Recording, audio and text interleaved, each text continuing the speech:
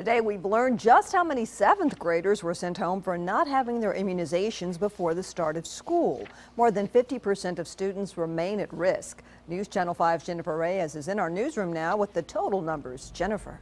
Well, Vicki, the numbers are still coming in. We're still waiting to hear back from a couple of middle schools and most of the charter schools. But from what we've learned so far, 826 seventh graders still don't have their required immunization certificate. The number seems high, but it's actually not that bad.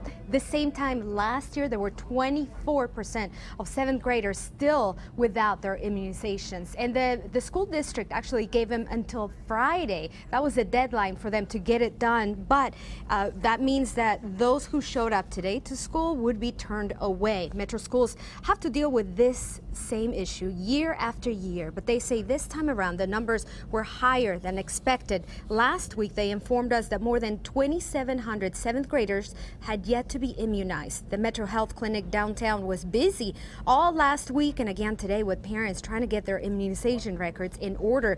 It's the document they need so that their kids can go back to school tomorrow. But for parents coming, the best thing that we would recommend for them is to bring their child's shot record.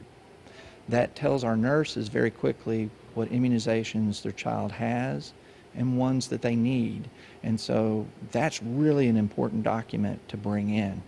Yes, and if parents don't have that, their children run the risk of having six or seven immunizations in one day.